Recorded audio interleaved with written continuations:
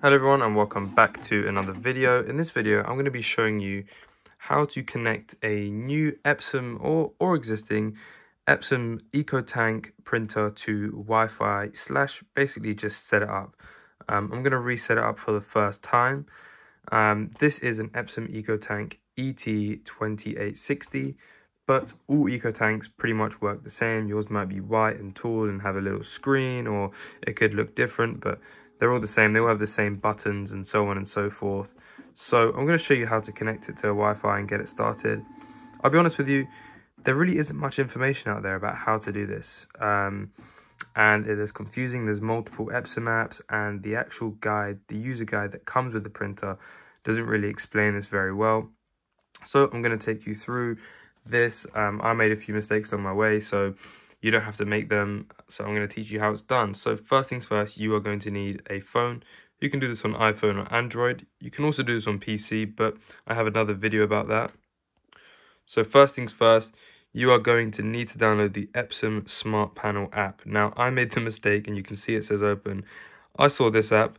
I saw, you know, 90,000 4.6 star rating reviews, and I thought, well, this must be the printer app. But this is the incorrect app. The actual app you want for your EcoTank uh, series printers is the Epson Smart Panel app. Now I'm going to open that and when you first open it you're going to be presented with the following. And um, when I click set up new product I always find it actually can't find my printer and I believe this is because when you first set it up in order for it to find your printer you need to first create a new Wi-Fi connection. So how do you do that? Well, it's very simple. If you haven't done this before, or even if you have done this and you would like to reset it, what you would do is you would find the Wi-Fi button here, and you're going to click and hold it for five seconds until you see the lights begin to blink and alternate between on these two on the side here. So it should start to do that. There we go. So now it's blinking. We're going to click the um, create new Wi-Fi connection option. Now, when you download the app, you're going to be, presented with the option to um, allow your phone to search for devices on the local network and Bluetooth connections. You need to accept that for this to work. If you haven't, then go into settings and you'll be able to um, enable these things. So I went on, it's cool. It's kind of like done through a chat thing. So it's pretty simple. They walk you through it. I just selected my printer. It came up immediately because it's on the pairing mode. And um, yeah, so these Wi-Fi connections are required. So let's proceed to Wi-Fi connections. This is going to show me how it's done. We'll click next.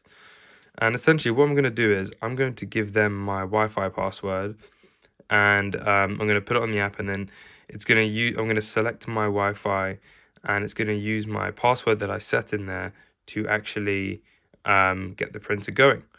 Um, so you can see it has set my uh, password. We're going to click next. So we're going to set the administrator password. Now, again, um, the easiest way to actually find your administrator password is to look inside the printer itself. In this EcoTank series, it's written right there, but your one might be written slightly further in. So I did just did it off camera, but I just connected. I just it asked me for the administrator password. If you haven't changed it, it's the one written in there, and I just entered it on the app.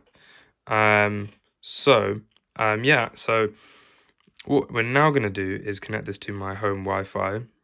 Now my home Wi-Fi's SSID is called Y, and it knows that because it's used checking what my phone's connected to. So I'm gonna click yes, and um, in this next step, I'm going to enter my Wi-Fi password. And then, you know, it says where the Wi-Fi password may be, so on and so forth. I've got my password. And I'm going to just enter this quickly. Okay, so I just entered my Wi-Fi password. I'm just going to cover it up for now. Um, and it can take up to two and a half minutes to actually connect to the Wi-Fi and yeah it's preparing and we'll i will get back to you when that is complete um actually whilst that loads i want to just mention that um like i said earlier you won't really actually be able to use many of the functions and features on this printer until uh, this step is completed so it's very important that um, you connect your printer to Wi-Fi using the official app. Um, remember, it's the Epson Smart Panel app. So yeah, let's wait for my Wi-Fi to set up. Okay, so it's been a couple of minutes and the app is telling me this now. Your Wi-Fi is set up and complete. Um, that is that. So let's go. Uh, you can see it. It's a good password. Um, so that's everything. And um, yeah, so there you go. My printer is set up and um, you can now decide how you want the app to look. I'm going to use the tiles because some old school graphics design. And yeah, that's everything.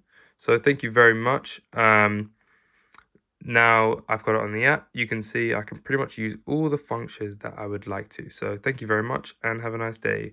Check my channel out for any other videos. Please like, comment and subscribe.